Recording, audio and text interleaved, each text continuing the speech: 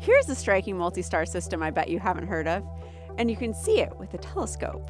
This is the constellation Orion, and here's Orion's belt. Some say these three stars are Orion's sword, with the middle star being the Orion Nebula. But the actual sword is here. Check this out. If we zoom in right here to 50 times magnification, this cluster looks like a dagger. So maybe we should call this star system Orion's sword instead. But wait, there's more.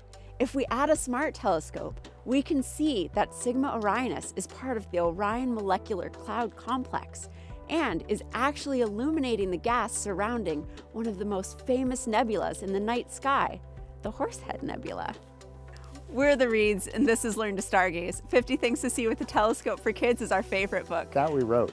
Follow, Follow Learn to Stargaze, Stargaze for more stargazing, stargazing adventures. adventures.